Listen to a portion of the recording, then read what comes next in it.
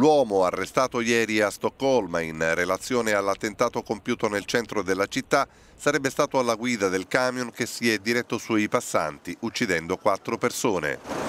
E quanto ritiene la polizia svedese, che non ha finora confermato né un secondo arresto di cui parlano i media locali, né l'indiscrezione secondo la quale nel camion sarebbe stato trovato dell'esplosivo. Le indagini sull'attentato sono in pieno svolgimento e un portavoce delle autorità invita la cittadinanza a non rendersi nei quartieri centrali della capitale. È ancora la scena del crimine e rimangono molte cose da fare lì, ha detto. Continua intanto l'esame dei testimoni di quello che è accaduto con l'obiettivo di ricostruire i fatti. Il camion che ha causato un incendio schiantandosi contro una vetrina era stato rubato a una ditta di distribuzione di bevande in mattinata, ma il furto non aveva fatto scattare alcuna allerta antiterrorismo.